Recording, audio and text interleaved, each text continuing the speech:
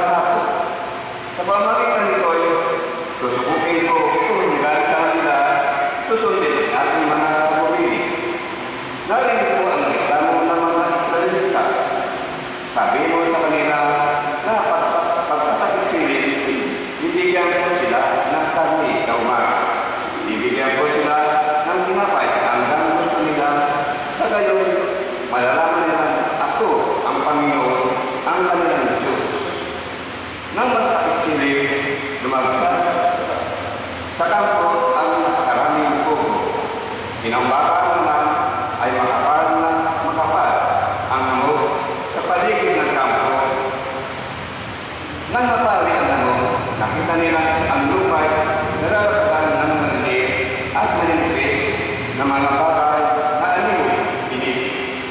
Hindi nila alam kung ano yun. Kaya, nagtanong sila, ano kaya ito? Sinabi ni Moises, iyan ang tinapay na bigay sa inyo ng Panginoon. Ang salita ng Salamat.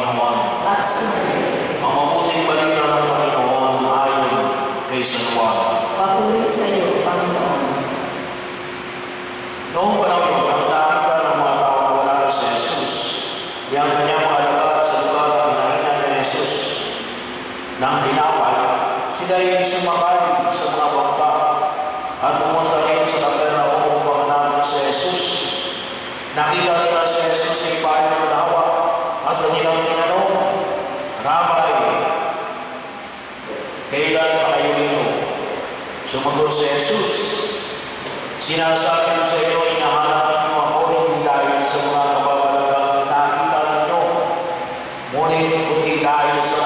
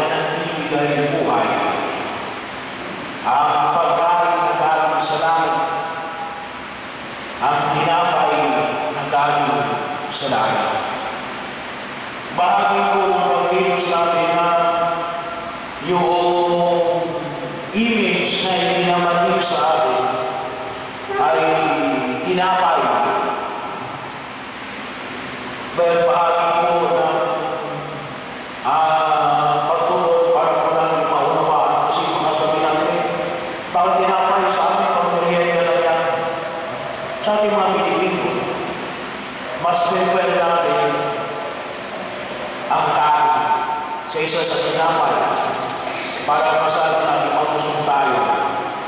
Pero,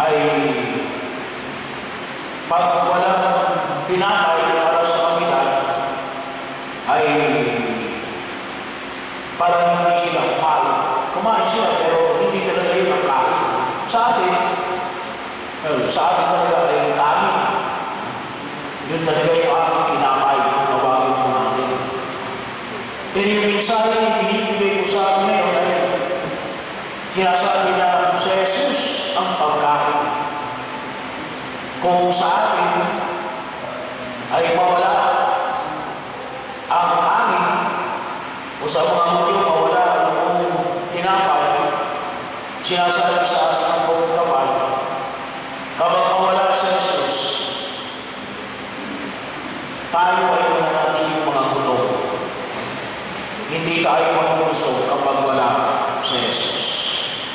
Si Jesus ang pagkain na magbibigay sa atin ng kabunuan. Si Jesus ang tinapay na magbibigay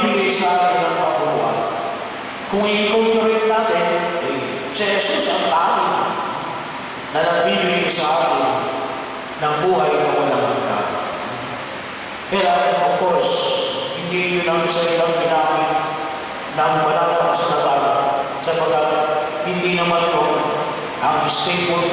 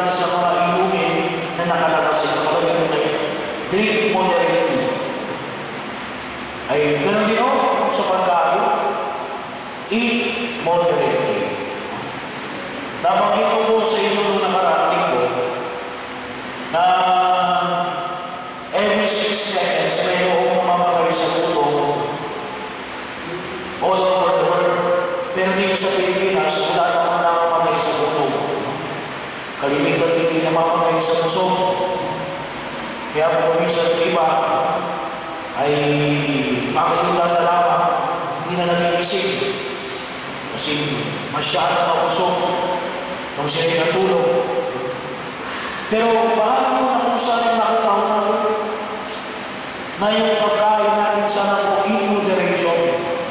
Kasi hindi ito yung magsasatisfy talaga ng ating pagkiro sa daigdig na ito. Hindi ito yung dapat natin pagtuunan ng pansin. Dapat pa yung tama natin kailangan. Huwag natin bahagi na kung saan ay, ay no, at bulusin ako yung ating aspeto ng pagkiro sa daigdig na ito ay in moderation. Yung mga bagay na nakita natin sa daigdig na ito ay hindi mapupunan yung ating pangangailangan sa mundo ni At makikita din po natin sa usapin ng pagkain. Kapag o mali ang ating pagkain, sobra yung ating pagkain, ano nangyayari? Nagkakasakit tayo. Kalimitan ko ng maraming sakit na nararanasan ng tao sa daigdig na ito ay maling pagkain at sobrang pagkain. Sobrang pagkain. At ito ay maliwanag na binigyan pa sila sa banal na kasulatan. Naalala ko itong nakaraang buwan, itong buwan ng July, na nantok po ako ng sa mga kapatid natin ang kasulatan ng pangalangin sa Baykar level, Baykari level, sa Baykari of the Holy Family. Yung topic po ay ang taon ng mga lupa.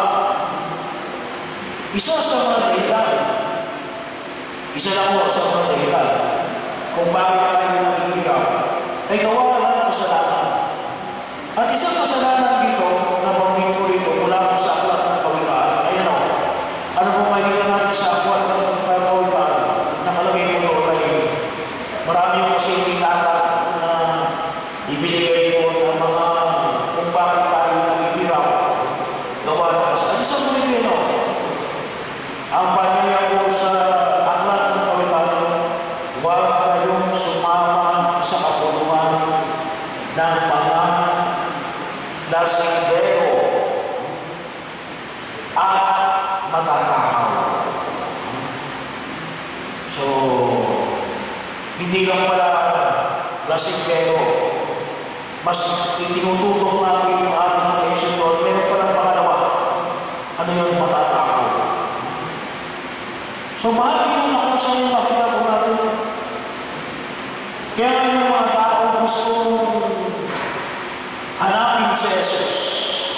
Nakita ko natin ang nakaraang linggo na ano, hinahamon nila si Jesus para para gawing hari. Kasi nga bakit? Because sila ay kumain at sila ay nabusog. Wala silang problema sa pagkain. Magpaparami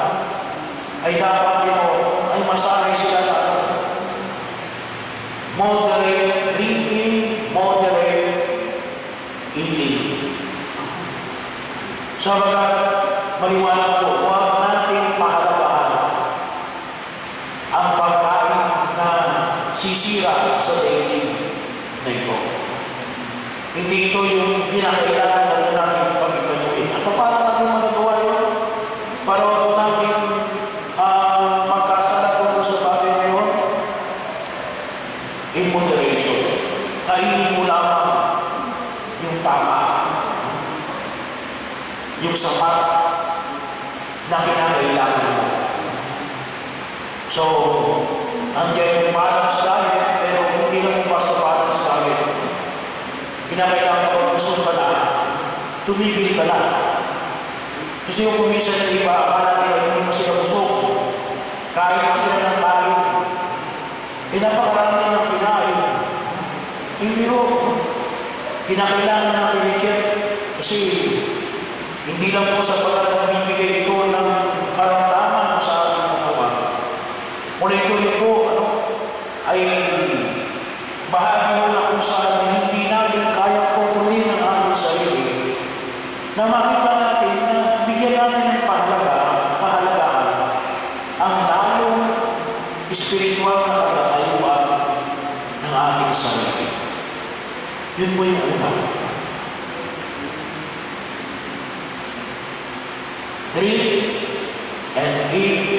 bawat kategori. Pangalawa, pangalawa ang isa ay ang usap ay tinutukoy ng Romeo Park na ah, ah, ang panyaya ni Jesus ito ay hanapin natin yung tinapay na nagbibigay ng buhay. Kinakailangan natin magkabuhay ang tinapay na sinasabi ni Jesus ang tinapay ng buhay. At sino ito? Wala ibang Rusya. Pero ano yung hinihingi sa atin? Ang hinihingi lang sa atin ang sabi ni Jesus, paniwalaan ninyo ang sinubuhi. Paniwalaan ninyo sa Jesus, ang tinapay na nagbibigay ng buhay na walang hanggan. Isang bahagi mo na kung saan binibigyan natin ng pagpapahalaga, ang pagdiriwang natin ng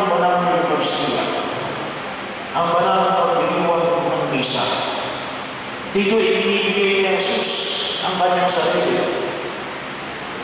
upang magbigay ng kaligtasan sa sangkatauhan ang pag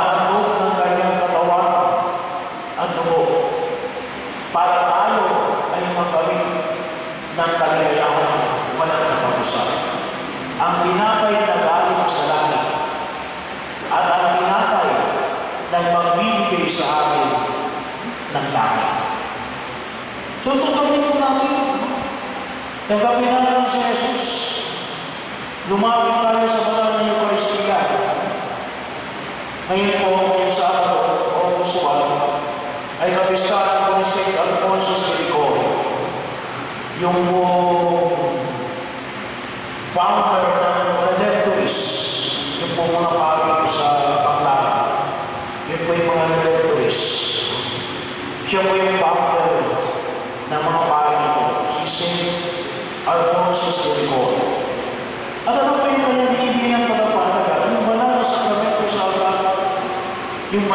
bansa. Yung pagbibigay ng sarili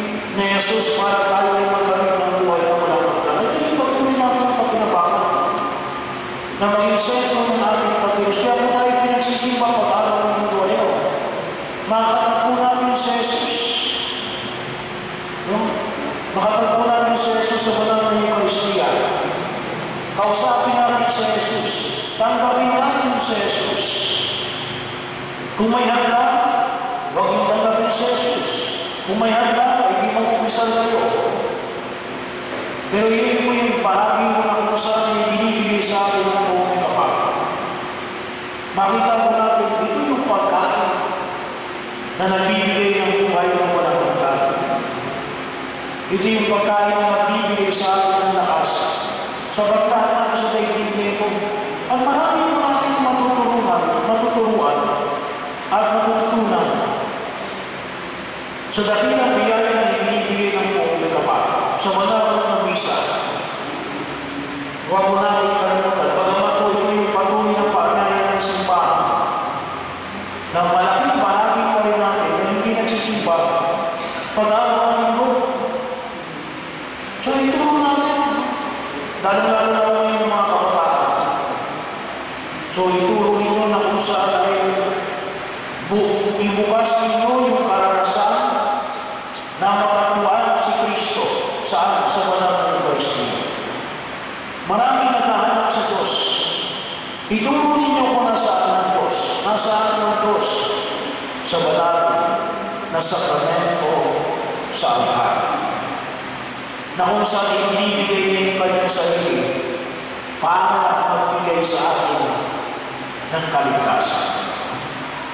Ituro ninyo si Jesus. Gawin minsan ang tao na kalimutan niya yung kanyang asawa, nakalimutan niya yung kanyang mga anak, nakalimutan niya yung mga tao sa paligid niya. Bakit?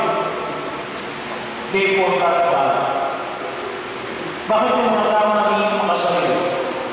Nakalimutan mo sa kila Diyos. Ipakita mo sa kanila ang Diyos. Asigurado ay hindi pwede maging makasabi. Kasi ituturo sa kanila ng Diyos. Ituturo sa tao ang pagbibigay ng sarili na ipinamamalaman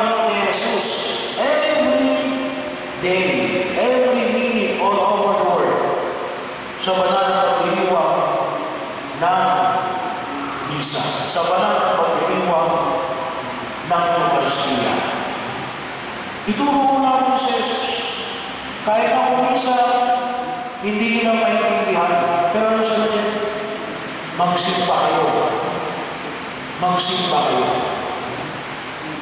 Bahagi ng pagkilos na ano, nandoon ang tinapay na nagbibigay ng buhay na walang hanggan. At kung walang hanggan, tanggapin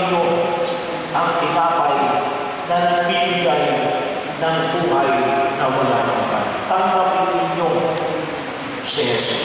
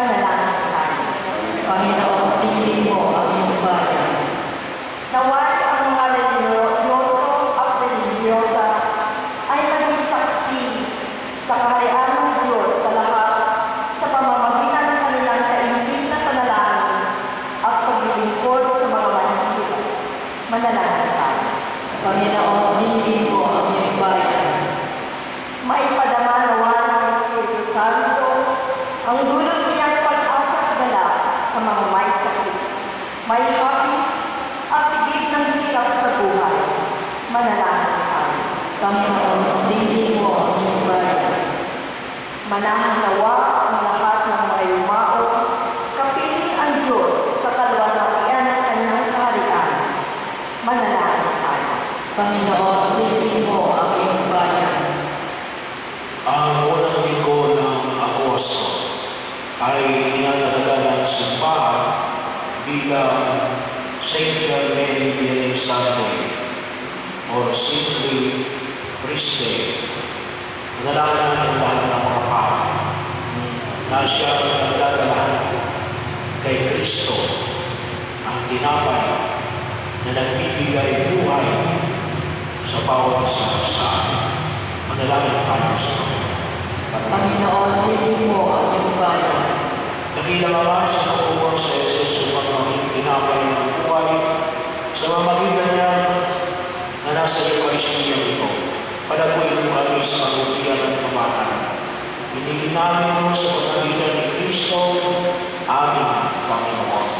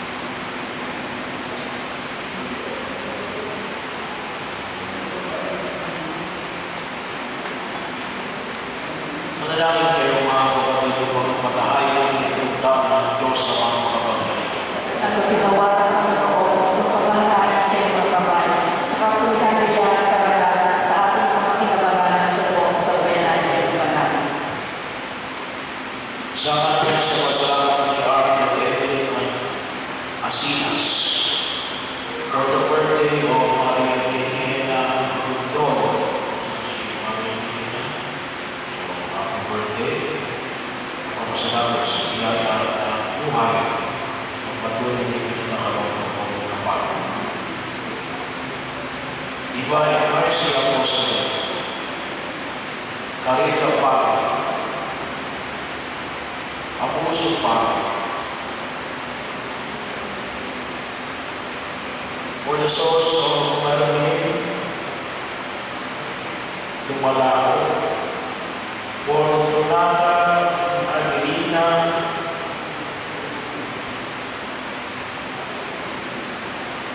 Manchano, Amicita,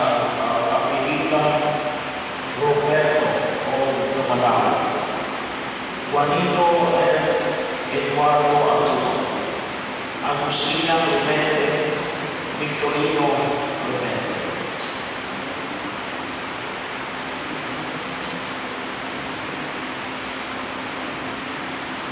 Ang maraming kami